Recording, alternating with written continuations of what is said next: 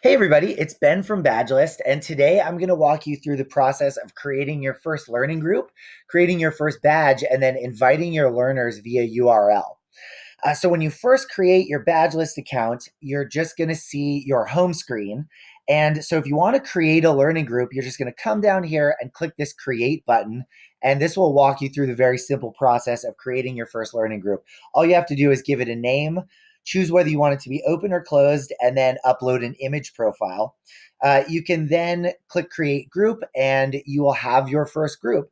The problem is that it won't have any badges in it yet. And so, what you want to do to populate your group with badges is one of two things. You can either create your own custom badge or you can actually copy badges from other open groups, which I'll show you in a different tutorial.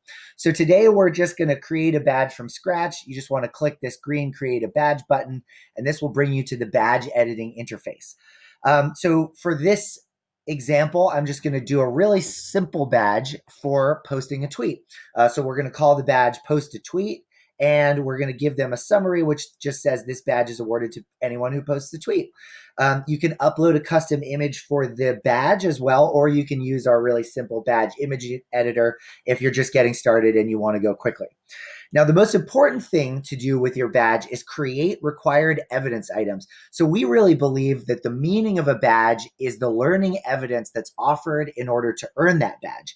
So, for this badge, it's going to be very simple. All they have to do is post a tweet, but you can actually have as many evidence requirements as you want. They can be as complicated as you want or as simple as you want.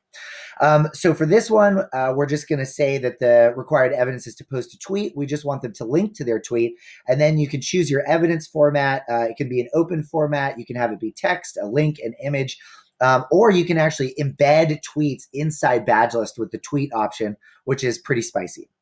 So then all you have to do is click this orange check button, and then you can just click your create the badge button, and then you will have your first badge inside of your group. Um, so here's your group, here's your first badge, and you know as you create more badges, you'll see them all arrayed right down here.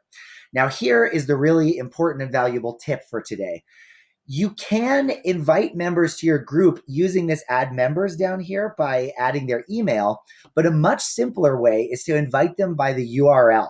So every group and every badge inside Badgelist has a unique URL. So all you have to do if you want to bring them into the group is copy this URL and then you can post it on your website, on a tweet.